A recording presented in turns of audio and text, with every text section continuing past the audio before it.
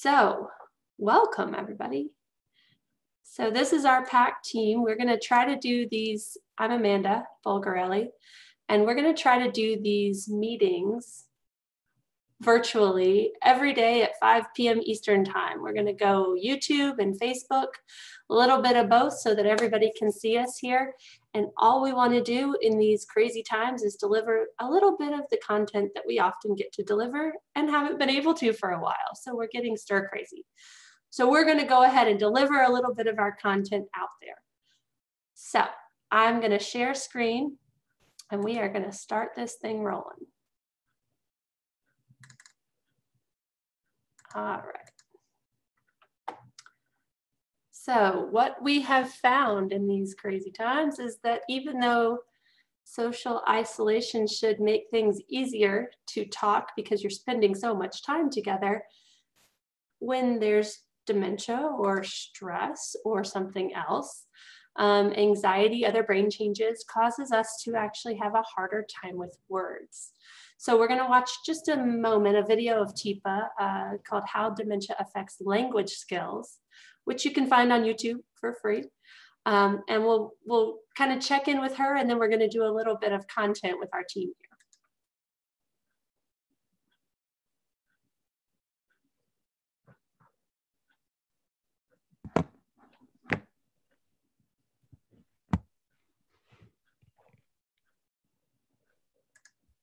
I'm gonna pause sharing because I am going to reshare screen where you can hear it hopefully this time around. All right, let's try it again. There you go. And they have this whole set of skills, put this hand up, which is strong, powerful. Oops. And they have this whole set of skills, put this hand up, which is strong, powerful, and retained on the right. So let me tell you what's over there. These are all rhythm related skills with one exception. It's special. So you have language and you have rhythm. So let me help you hold on to it. We'll look at it in a second so you see it. Okay, here we go. Put your hands up. Heels of your hands are going to hit your temporal lobes to help you remember this. And you're going to go left, right, like you're marching left, right. Do it again. Left, right. Good. Language on the left, rhythm on the right. Now, I want you to look at me while you do it first. Okay, you ready? Formal and straight up. Language on the left, rhythm on the right. Now, you need to kick that hit. You need to get a little rhythm action going there. Because I want you to have a full body memory cue of what they keep and what they lose. And I want you to hang on to it. Now, this is simplified, but it's the basics of what they keep. And it's the basics of where things are. It's complicated, but I don't want to make it too hard for you. So, what do we have over here? Language on the left, rhythm on the right. Now, you lose on the left, retain on the right. You lose on the left, retain on the right. Okay, so we are going to move now into our video panel here so we can see our team. And team, feel free to unmute when you think you know. We're gonna fill this chart in. So what we're seeing here are two brains, um, both autopsied brains. The top brain here is a gentleman who died in an accident, so a fairly healthy brain. And the brain down here, uh, we're looking at a slice. If you can take your fingers kind of right above your ears, we're looking at a slice, like a slice of bread of that brain. And the white that we see is the wiring and the dark edges, that's the gray matter. Those are those storage cabinets. Down here in the blue, you see the right temporal lobe. So that's rhythm. And down here in the green is the left temporal lobe. So that's language. So I'm gonna go ahead and see, let's see what you guys come up with. Let's try to fill in the blanks for this group. So feel free to unmute and tell me what to place.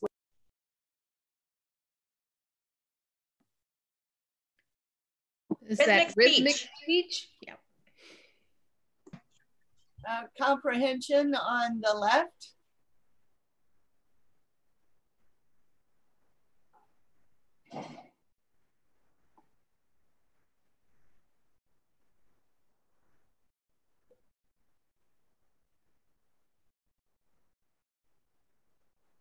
So, so, social, social chit chat on the right. That's number two. Catherine is is showing a little rigidity. I gotta be right, Chief. I gotta get it right. Okay, I'm not. So sure why don't I go ahead and fill in number one? Forbidden well, words. Oh crap! I'm being rigid. really and truly, there's no rule about the order. I just do them that way because it's easier for me to remember them. That's my favorite. Poetry and prayer on the right. Music, poetry, and prayer. Music, poetry, prayer, and counting. Music, poetry, prayer, and counting. Automatic movements.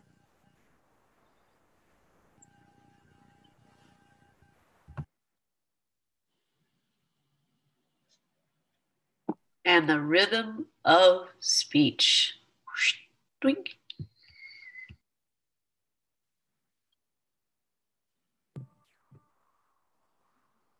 And left is vocabulary.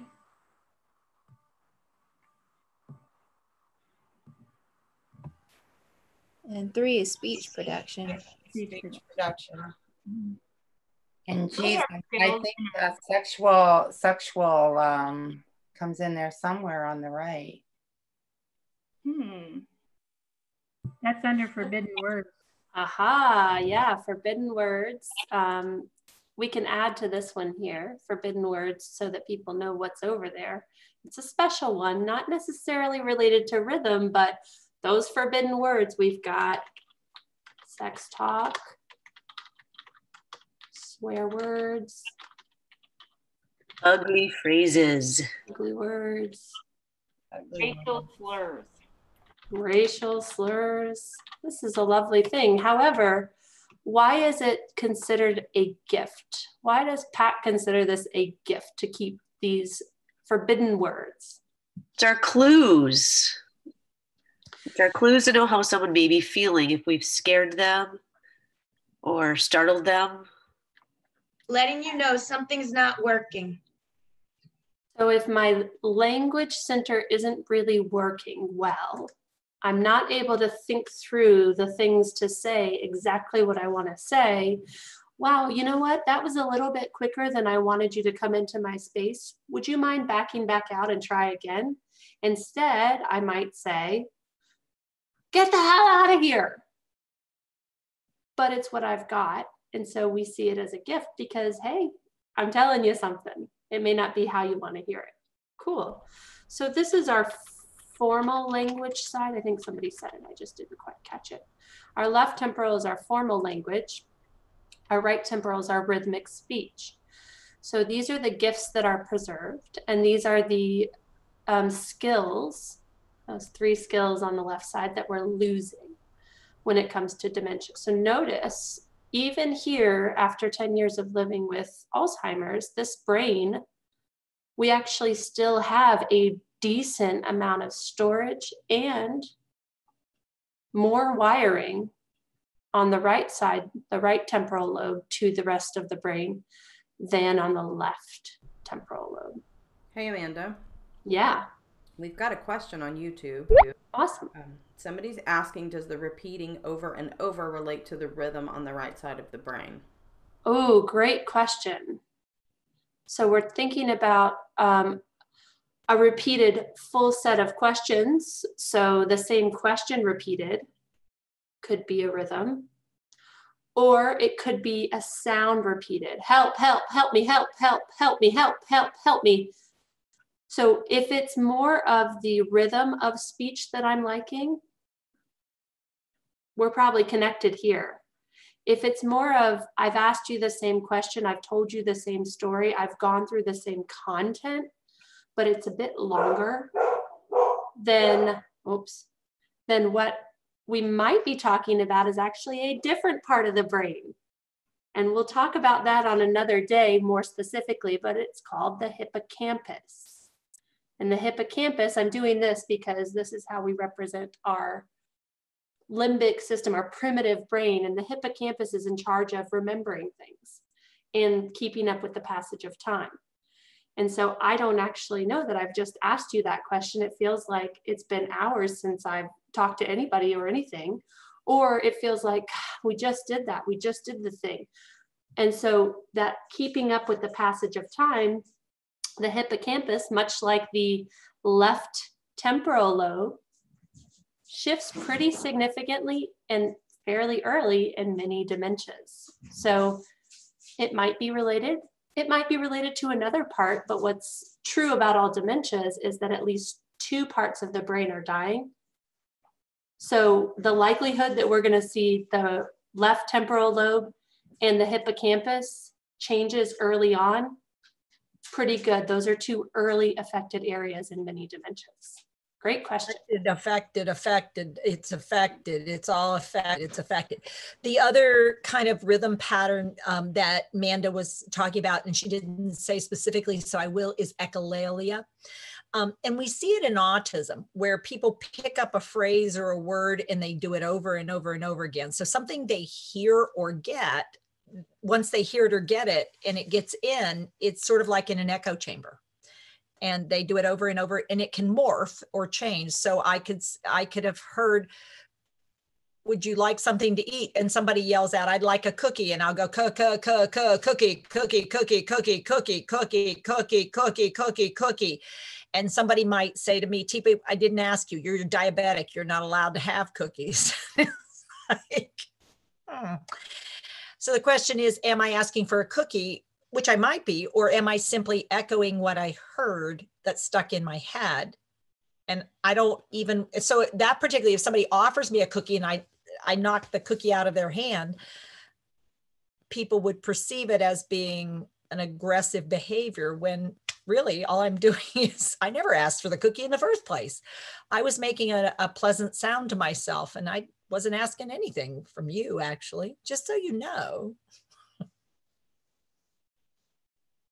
Great. So um, I noticed in our chat that we also had a, a quick question about, or a quick add on to what um, we were talking about earlier. It may not be that somebody isn't understanding you or hearing you.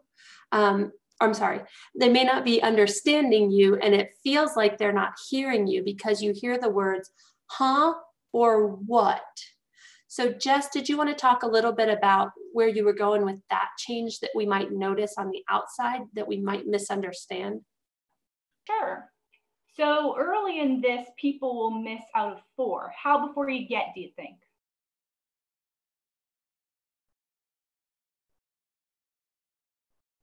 Early in this, people will miss out of four. How before you get, do you think? No? Still no? and so what I actually did was something we've often heard Teepa do, just take out every fourth word. And a common reaction is a huh, or that sort of vacant look, which sometimes we might mistake for they didn't hear me. And so what did you notice me doing to try to compensate? louder. I got louder. Now, is that something you've ever seen happen in a dementia care setting? Okay. Um, so did it help when I got louder? Not at all. Not in the least. And why is that exactly? Because I'm not deaf. Yeah, I'm not deaf. I just. Oh, it wasn't not... actually a hearing issue. It was a what type of issue? Comprehension. Yeah. And so I kind of thought that it was funny when we initially couldn't hear Teepa at all. And we had to go back and actually turn on the sound.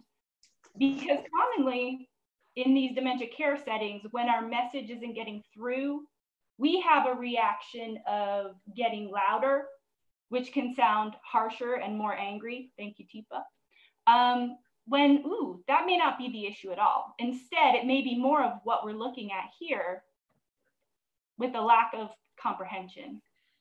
Yeah, so thanks, Jess. So we have a lot of solutions that don't always work when somebody is not understanding or comprehending what we're saying, or they're having trouble producing the words that we're looking for. So one thing that I wanted to show is, okay, what does PAC recommend now? Uh, let me get rid of the annotation real quick. Maybe, maybe not. Um, so what does PAC recommend us do? So I, am not gonna play um, much of this video because you can go check it out yourself. Connecting Through Music is the title of it and it will walk you through, Teepa walks you through lots of different ways to use music to connect. And if I can trigger, so let me go back one more slide. If I can use what's left here, what remains in the right temporal lobe, using music, poetry, prayer, counting, any of those things that we talked about, then suddenly I can get your whole brain to start to engage and actually free up words in that left temporal lobe that you weren't able to access before. Because what do you notice is one of the biggest missing pieces down here in this brain? Is it the storage cabinets or is it the wiring to get there? all that wiring. Yeah. So by using music, we can connect to the rest of the brain a little bit more effectively. All right. Well, thanks everybody for joining. Here's another look at our PAC team. We've got um, quite a few people on. They just came to say hi and help us out as we try to get more and more awareness out there of what is dementia and how can we help. So thanks. I'm to